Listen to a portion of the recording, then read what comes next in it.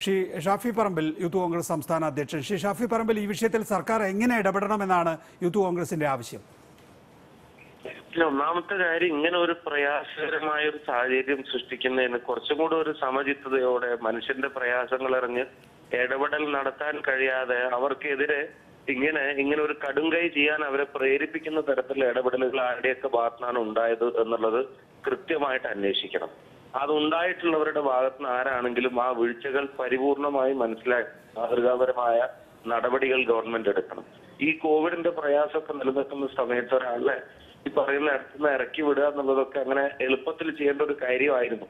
അതൊക്കെ ഒന്ന് ശ്രദ്ധിച്ചിട്ടും ആളുകളുടെ അവസ്ഥയും പ്രയാസമൊക്കെ മനസ്സിലാക്കിയിട്ടും ഇടപെടൽ നടത്താൻ ഉത്തരവാദിത്തപ്പെട്ട ആളുകളല്ലേ എല്ലാവരും?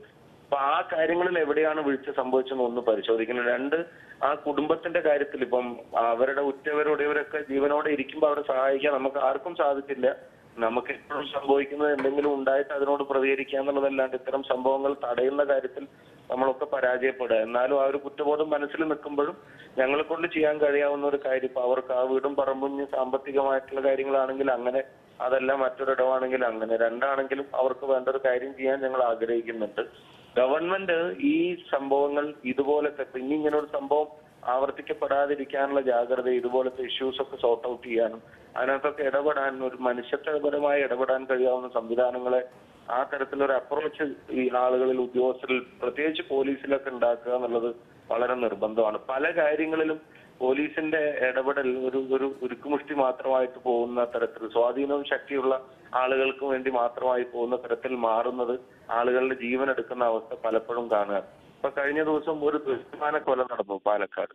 അപ്പൊ ആ പെൺകുട്ടിയും കുടുംബവും അമ്മ ഉൾപ്പെടെയുള്ള ആൾക്കാർ പോലീസ് സ്റ്റേഷനിൽ ചെന്നിട്ട് ഈ അമ്മാവൻ ഇങ്ങനെ വന്ന് തൊണ്ണൂറ് ദിവസത്തിനകം നിങ്ങൾ ഒരുമിച്ച് ജീവിക്കില്ല താലി അറുത്തു മാറ്റുന്ന ഭീഷണിപ്പെടുത്തിയെന്ന് പറയുമ്പോൾ കാഷ്വൽ ആയിട്ടുള്ള ഒരു തെരച്ചിലാണ് നടത്തിയെന്ന് പറയുന്നത്. അതേ ആൾ തന്നെ പിന്നെ രണ്ട് തവണ വീട്ടിൽ വന്ന് ഭീഷണിപ്പെടുത്തി മൂന്നാമത്തെ തവണ ആ ചെറുപ്പക്കാരനെ കൊല്ലുകയും ചെയ്തു. വാളയാറിലും നമ്മൾ കണ്ടു ആദ്യത്തെ പെൺകുട്ടിയെ കൊന്ന അതേ ആളുകൾ തന്നെ പിന്നെയും ആ വീട്ടിലേക്ക് പോകുന്നത്. അപ്പൊ അമ്മയും അപ്പൊ അങ്ങനെ ഒരുപാട് പ്രശ്നമുണ്ട്. നമുക്ക് ഇതിൽ ഒന്ന് ചുരുങ്ങി നിന്നാൽ ശ്രീ ഷാഫി പറമ്പിൽ കുട്ടികൾക്ക് വീട് വെച്ച് കൊടുക്കാമെന്ന് യൂത്ത് കോൺഗ്രസ് ഇതിനകം വാഗ്ദാനം നൽകിയിട്ടുണ്ടോ? അത് പറഞ്ഞു. ഞങ്ങൾ അതിപ്പോ ഒരു എന്താ പറയാ ഒരു ജീവനോട് ഇരിക്കുമ്പോ ചെയ്യാൻ കഴിഞ്ഞില്ല. ഞങ്ങൾക്ക് എല്ലാവർക്കും നമുക്ക് എല്ലാവർക്കും ആ ഒരു കുറ്റബോധം ഉണ്ട്. പിന്നെ ഇത്തരം ഇൻസിഡൻസ് നടന്നിട്ടാണ് നമ്മുടെയൊക്കെ ശ്രദ്ധയിലേക്ക് ഇപ്പൊ പ്രത്യേകിച്ച് പഞ്ചായത്ത് ഇലക്ഷനും കാര്യങ്ങളൊക്കെ കഴിഞ്ഞു നിൽക്കുന്ന സമയം എല്ലാം ആയിട്ടും നമ്മുടെ എല്ലാവരുടെയും ശ്രദ്ധയിലേക്ക് വരുന്നത് അങ്ങനെ വരുമ്പോഴാണ്. പിന്നെ ഞാൻ ആരെയും ബ്ലെയിം ചെയ്യല്ല. പക്ഷെ നമ്മൾ ഉൾപ്പെടെ എല്ലാവർക്കും ആ കാര്യത്തിൽ ആ, അവരെ ഒരു ജീവനോടെ സംരക്ഷിക്കാൻ കഴിയാവുന്ന സമയത്ത് ഒരു ഇടപെടൽ നടത്താൻ പലർക്കും നമുക്ക് ആർക്കും കഴിഞ്ഞില്ല. അതിനേക്കാൾ നമ്മുടെ സംവിധാനങ്ങൾക്ക് കഴിഞ്ഞില്ല എന്ന് മാത്രമല്ല നമ്മുടെ സംവിധാനങ്ങൾ അവർക്ക് എതിരായിട്ട് നിന്നു എന്നുള്ളൊരു ഫീലും കൂടെ അവരിൽ ക്രിയേറ്റ് ചെയ്തു എന്നുള്ളതാണ്. അതാണ് ഏറ്റവും പ്രധാനപ്പെട്ട ഇപ്പൊ സഹായം പെട്ടെന്ന് ഇപ്പോൾ എല്ലാവരുടെയും വ്യക്തിപരമായ എല്ലാ പ്രശ്നങ്ങൾക്കും പരിഹാരം കണ്ടെത്താൻ പെട്ടെന്ന് കഴിഞ്ഞു എന്ന് വരില്ല. പക്ഷെ അവരെ ഒരു ഒരു ശത്രുവിന്റെ പക്ഷത്ത് നിർത്തുന്ന ഒരു വ്യവസ്ഥിതി അവിടെ വരുമ്പോൾ അവർ ഒറ്റപ്പെട്ടു പോവുകയോ അവർക്ക് പ്രതിഷേധിക്കാൻ ഇത്തരം കടുങ്കൈ ചെയ്യേണ്ടി വരുന്ന ഒരു അവസ്ഥ ഉണ്ടാക്കരുതായിരുന്നു അതായിരുന്നു ഇവിടെ വളരെ പ്രധാനപ്പെട്ട ഒരു കാര്യം ലോക്കൽ പോലീസിന് എന്തോ ഒരു ധൃതി ഉണ്ടായിരുന്നു എന്നുള്ളതാണ്. ഇപ്പോ തൊട്ടടുത്തുള്ള ഒരു സ്ത്രീ ഒരു കോളനിയിൽ ഒരാൾക്ക് കൈവശം വെക്കാവുന്ന ഭൂമി എത്രയാണെന്ന് സംബന്ധിച്ച് അളവുണ്ട്.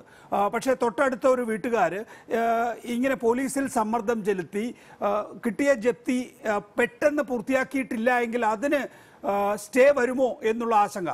ഈ മരിച്ച രാജൻ പോലീസിനോട് പറയുന്നുണ്ട് അരമണിക്കൂറിനകം സ്റ്റേ വരും നിങ്ങളൊന്ന് വെയിറ്റ് ചെയ്യുമെന്ന് അതൊക്കെ ഞങ്ങൾക്കറിയാം എന്ന് പറഞ്ഞാണ് പോലീസ് അവരോട് പെട്ടെന്ന് ഇറങ്ങാൻ ആവശ്യപ്പെടുന്നത്. സ്വാഭാവികമായിട്ടും ലൈറ്റർ കത്തിക്കുന്നു അതൊരു ഭീഷണിയായി നിൽക്കുന്നു. രണ്ടുപേരാണ് ഒരേ സമയം പെട്രോൾ ഒഴിച്ച് നിൽക്കുന്നത്.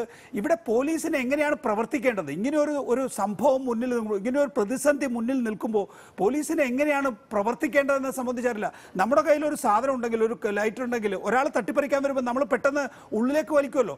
അത് സ്വാഭാവികമായിട്ട് അത് ചെയ്യാൻ നമുക്ക് പാടില്ല എന്നറിയാമെങ്കിൽ പോലും നമ്മളങ്ങനെ ചെയ്തു പോകും. അതോടുകൂടിയാണ് തീ ആളുന്നത്.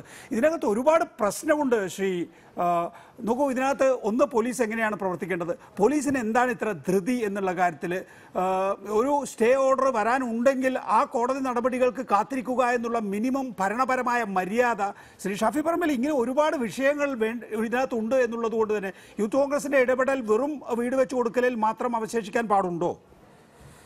ഒരിക്കലും അങ്ങനെ അവശേഷിക്കുകയല്ല. അപ്പൊ ഈ പോലീസിന്റെ ഈ ധൃതി അനാവശ്യ ധൃതി എന്ന് പറയുന്നത് ഇത്തരം കാര്യങ്ങളിലേ കാണുന്നുള്ളൂ. ഇപ്പൊ എത്രയോ വൻകിട കയ്യേറ്റങ്ങളെ സംബന്ധിച്ചുള്ള വാർത്തകളും കാര്യങ്ങളും ഒക്കെ നമ്മൾ കാണുന്നുണ്ട്. അപ്പൊ അവിടെ നിയമവ്യവസ്ഥയും പോലീസും ഒക്കെ സ്റ്റേക്കും കോടതിക്കും അതിന്റെ സംവിധാനങ്ങൾക്കും എല്ലാം ആവശ്യത്തിലധികം സമയം കൊടുക്കാൻ തയ്യാറാണ്. ഒരു പാവപ്പെട്ടവൻ ഒന്നോ രണ്ടോ സെന്റിന്റെ പേരിലുണ്ടാവുന്ന തർക്കം വരുമ്പോ അരമണിക്കൂർ കൊണ്ട് സ്റ്റേ വരുന്നു എന്ന് പറയുമ്പോൾ അതൊക്കെ ഞങ്ങൾക്ക് അറിയാം. എന്ന് താങ്കൾ പറഞ്ഞ പോലെ പറഞ്ഞിട്ടും ഇപ്പൊ തന്നെ സ്റ്റേ വരുന്നതിന് മുമ്പ് അവരെ വെക്കേറ്റ് ചെയ്യുമ്പോൾ തൽസ്ഥിതി തുടരാൻ പറയുമ്പോഴത്തേക്കും ഇവരവിടുന്ന് പുറത്താക്കണം ഒരു മുൻകൂട്ടി നിശ്ചയിച്ച അജണ്ടയോടെയാണ് അവിടെ പോലീസ് വരുന്നത്.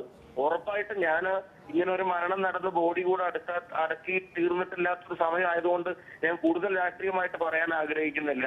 ഉറപ്പായിട്ടും ഞങ്ങളുടെ ഇടപെടലുകൾ ആ വീടിന്റെയോ സ്ഥലത്തിന്റെയോ കാര്യത്തിൽ മാത്രമായിരിക്കില്ല. ഇത്തരം ഇടപെടലുകളെയും അനാവശ്യ പ്രതിയും എത്തി കൊടുത്തിട്ടുണ്ട് അത് അത് യെസ് ഞാൻ മടങ്ങിയെത്താം ആ, ഷാഫി പറമ്പിലേക്ക് ആ,